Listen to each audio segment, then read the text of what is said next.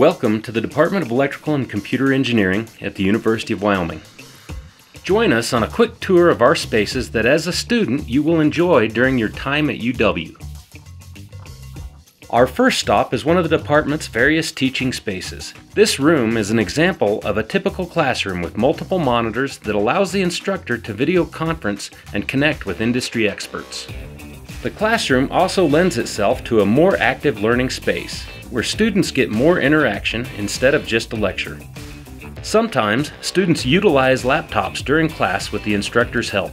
Other times, they have full instrumentation systems to measure and see what is happening inside circuits. Now we're at the state of the art Power Simulation Lab. We recently received more than $1.4 million for this lab from the National Science Foundation to improve our nation's power grid.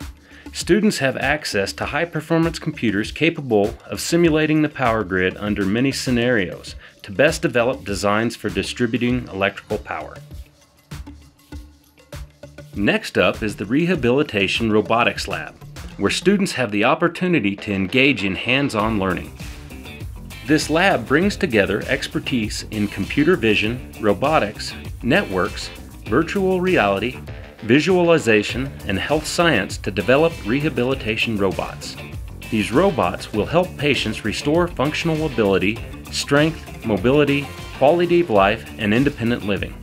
A recent project is their NSF funded exoskeleton. Let's discover next the Undergraduate Research Lab, where students work one on one with faculty using the latest augmented reality, robotics, drones, and computer vision systems.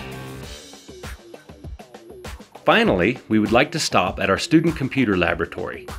Here, students will get familiar with various software programs that they will likely encounter in their careers.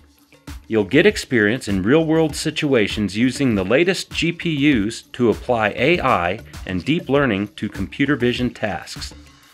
You'll simulate complex circuit designs so accurately that they can be created physically by just sending the simulation file to a circuit foundry. You'll analyze control and signal processing systems using industry standard software such as MATLAB to understand and design new cell phones and their communication protocols.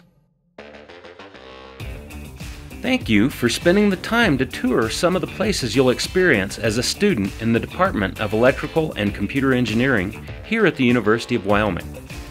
For more information or to schedule a visit, check out our website at uwyo.edu slash electrical.